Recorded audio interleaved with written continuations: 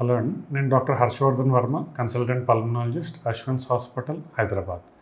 ఈరోజు నేను మీకు వివరణ ఇద్దామని అనుకున్న జబ్బు క్షయ వ్యాధి అంటే మనం దీన్ని టీబీ కానీ కాక్స్ అని కూడా అంటాం అనమాట సో ముఖ్యంగా ఈ- టీబీ అంటే చుబర్క్లోసిస్ ఆర్ క్షయ వ్యాధి రా రావడానికి కారణం ఏంటంటే మైకోబ్యాక్టీరియం చుబర్క్లోసిస్ అనే బ్యాక్టీరియల్ ఇన్ఫెక్షన్ వలన వచ్చే జబ్బుని మనం టీబీ వ్యాధి అంటాం అనమాట ఆర్ క్షయ వ్యాధి అని. ఇది చాలా ప్రాణాంతకమైన అంటువ్యాధి అనమాట సో ఒక పర్సన్ నుంచి ఇంకో పర్సన్కి చాలా ఈజీగా ట్రాన్స్మిట్ అవుద్ది. ఎందుకంటే ఇది గాలిలో డ్రాప్లెట్స్ కింద తిరిగే జబ్బు కాబట్టి ఒక ఇన్ఫెక్టెడ్ పర్సన్ నుంచి ఒక నార్మల్ పర్సన్కి చాలా ఈజీగా అంటుకుంటుంది అనమాట సో ఈ టీబీ వ్యాధి అనేది చాలా ఓల్డ్ డిజీజ్ చాలా కొన్ని మిలియన్స్ ఆఫ్ ఇయర్స్ నుంచి ఉంది. బట్ ఇంకా మనం ఆ టీబీ డిజీజ్ని ఫైట్ చేయడానికి కారణం ఈ టీబీ బ్యాక్టీరియా అనేది చాలా స్ట్రాంగ్ బ్యాక్టీరియా. దాని సెల్ వాల్ కానీ స్ట్రక్చర్ కానీ చాలా పెక్యులియర్గా ఉంటుందండి చాలా స్ట్రాంగ్ మెటీరియల్తో ఉంటుంది అనమాట సో వన్ టూ డ్రగ్స్తో చనిపోయే బ్యాక్టీరియా అయితే కాదనమాట దాని ప్రాపర్టీస్ వలన ఎక్కువ మందులు వాడాల్సి వస్తుంది ప్లస్ ఎక్కువ రోజులు వాడాల్సి వస్తుంది అనమాట సో కామన్గా మనం టీబీలో ఎవరిలో చూస్తామంటే it can affect any age group commonly seen in developing countries అనమాట అంటే ఇండియా లాంటి డెవలపింగ్ కంట్రీలో కామన్గా చూస్తాం. పాకిస్తాన్ బంగ్లాదేశ్ ఈ సౌత్ ఈస్ట్ ఏషియన్ రీజియన్స్లో కామన్గా చూస్తాం. ప్లస్ ఇది కామన్గా ఎఫెక్ట్ చేసేది low socioeconomic group of people అనమాట ఎందుకు అంటే వీళ్ళల్లో న్యూట్రిషన్ సరిగ్గా ఉండదు కాబట్టి. ప్లస్ వాళ్ళు ఇండో ఉండే ఇంట్లో వెంటిలేషన్ కానీ ఓవర్ క్రౌడెడ్గా ఉంటారు కాబట్టి కామన్గా టీబీ అనేది మనం లో సోషియో ఎకనామిక్ గ్రూప్లో కామన్గా చూస్తాం అనమాట సో ఈ టీబీ అనేది అసలు ఎలా వస్తుంది? ఈ టీబీ అనేది డ్రాప్లెట్ న్యూక్లీ కింద డ్రాప్లెట్స్ లాగా తిరుగుతుందో గాలిలో తిరుగుతూ ఉంటుంది అనమాట సో ఒక ఇన్ఫెక్టెడ్ ఇండివిజువల్ కనుక తుమ్మినా ఒకవేళ దగ్గి ఉన్నా ఈ డ్రాప్లెట్స్ అనేది ఎయిర్లో సస్పెండ్ అయి ఉంటాయి. సో దాన్ని మనం ఒక నార్మల్ పర్సన్ ఇన్హేల్ చేస్తే కనుక అది ఎయిర్వేస్ ద్వారా లోపలికి వెళ్ళి త్రోట్ని ఎయిర్వేస్ త్రోట్ నుంచి లోపలికి వెళ్ళి లంగ్స్లో డిపాజిట్ అయ్యి ఆ లంగ్లో ఉన్న టిష్యూలో మన రక్తంలో ఉండే కణాలు ఈ బ్యాక్టీరియా మధ్యన జరిగే ఇంట్రాక్షన్స్లో అది ఆ సెల్ లోపలికి వెళ్ళి మల్టిప్లై అయ్యి స్లోగా ఆ ఏరియా ఆఫ్ లంగ్లో న్యూమోనియా అబ్జర్వ్ చేస్తామండి ఆ న్యూమోనియా నుంచి స్లోగా క్యావిటీ ఫార్మేషన్ ఆ క్యావిటీ నుంచి స్లోగా ఫైబ్రోసిస్ ఈ క్యావిటీ ఫార్మేషన్ ఉండగానే బ్లడ్ వెజల్స్ని రప్చర్ చేసే తత్వం ఉంటుంది కాబట్టి స్లోగా అక్కడి నుంచి బ్లడ్ స్ట్రీమ్లో కానీ లింఫాటిక్స్లో కానీ స్ప్రెడ్ అయ్యి పూర్తిగా బాడీలో అన్ని ఏరియాస్లోకి వెళ్ళి ఇన్ఫెక్ట్ చేసగలిగే చాలా డ్రెడ్ఫుల్ డిజీజ్ అనమాట సో టీబీ అనేది ఒకటి లంగ్స్కే కాదు ఎప్పుడైతే ఇలా స్ప్రెడ్ అవుతుందో సో బ్రెయిన్ కానీ బ్రెయిన్లో అయితే మెనింజైటిస్ అని కానీ గ్యాస్ట్రో అయితే కాలాన్ డిజీజ్ కానీ జెనేటో యూరినరీ సిస్టమ్ అంటే కిడ్నీస్ ఉమెన్లో అయితే ఫెలోపియన్ ట్యూబ్స్లో కానీ స్పైన్ బో స్పైన్ టీబీ కానీ బోన్ ఇన్వాల్వ్మెంట్ మళ్ళా లివర్ కానీ ఐ కానీ ఇలా చూసుకుంటే ఆల్మోస్ట్ మన బాడీలో ఉండే ప్రతి ఆర్గాన్ని ఇన్ఫెక్ట్ చేసే చేసే కెపాసిటీ టీబీకి ఉంటుంది అనమాట టీబీ ఇన్ఫెక్ట్ చేయని రెండే రెండు ఆర్గాన్స్ ఒకటి హెయిర్ ఇంకోటి నెయిల్స్ అనమాట సో ఈ టీబీ అనేది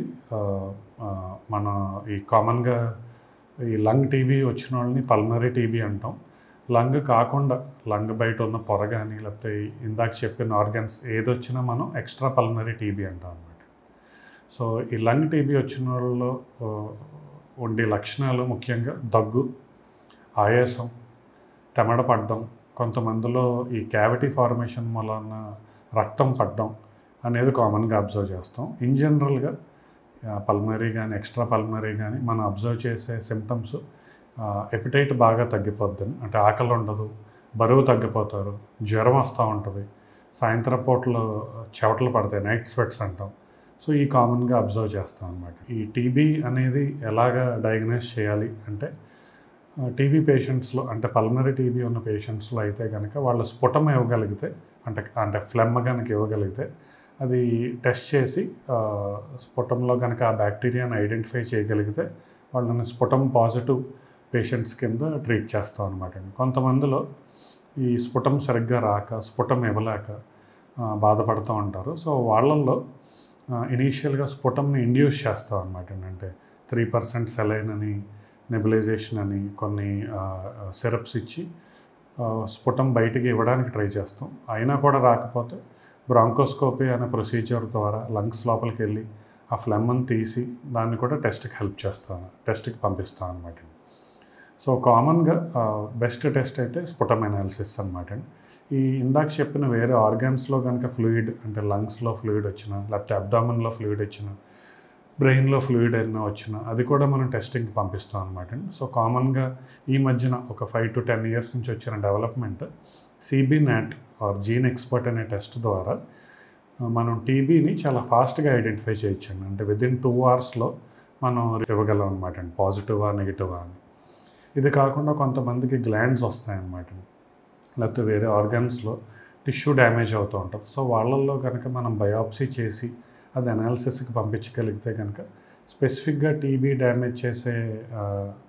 ఏరియాస్ని ఐడెంటిఫై చేసి పెథాలజిస్ట్ ఈజీగా టీబీ అని ఐడెంటిఫై చేయగలం అనమాట సో ఈ టీబీ ఈ డిజీజ్లో మనం వాడే డ్రగ్స్ యూజువల్గా ఫోర్ డ్రగ్స్ వాడతాం అనమాట బట్ ఇది నార్మల్ టీబీకి అనమాట బట్ ఈ టీబీకి ఉండే ఇంకో extra advantage advantage for the bacteria ఏంటంటే ఇది తొందరగా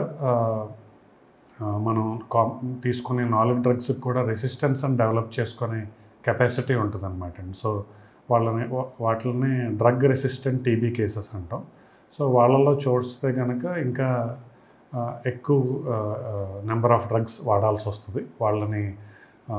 multi drug resistant TB cases అని extreme drug resistant TB cases అని అంటాం. సో మనం ఇనీషియల్గా few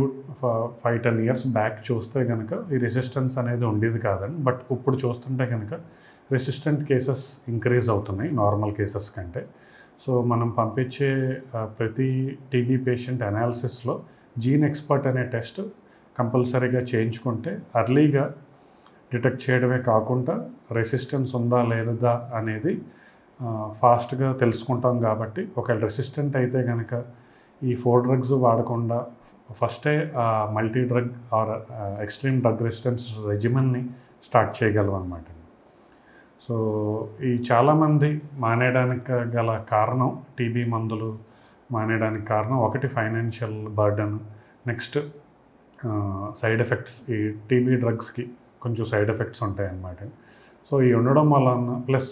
ఫాస్ట్గా రెండు నెలల్లోనే లక్షణాలు తగ్గిపోవడం వలన వీళ్ళు చేసే పొరపాటు ఏంటంటే మందులు మానేయడం అనమాట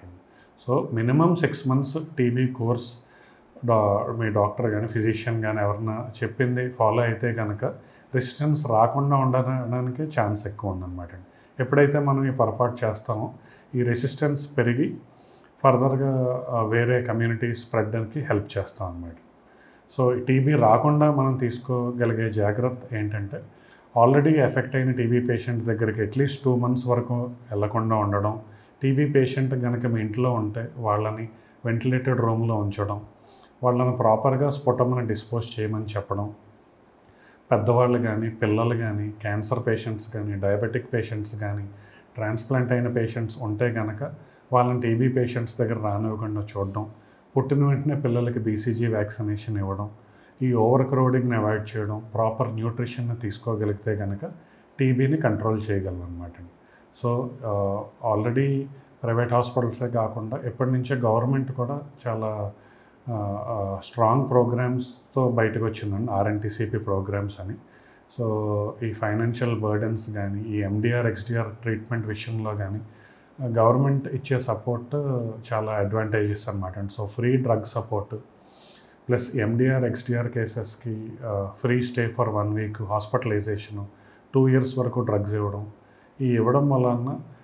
ఇండియా పెట్టుకున్న final goal government of India పెట్టుకున్న final goal at least twenty twenty five to twenty థర్టీని పూర్తిగా డిజీజ్ ఫ్రీ కంట్రీని ఇండియాని చేద్దామని డిసైడ్ అయింది. సో మనమే కాకుండా ఈ వీడియో చూసి మీరు కూడా ఆ ఎఫెక్ట్ అయిన పేషెంట్స్కి కనుక నాలెడ్జ్ స్ప్రెడ్ చేయగలిగితే కనుక మనం గవర్నమెంట్ ఆఫ్ ఇండియా అనుకున్న ఇనిషియేటివ్ని ఫుల్ఫిల్ చేసినట్టు అవుతుంది. Thank you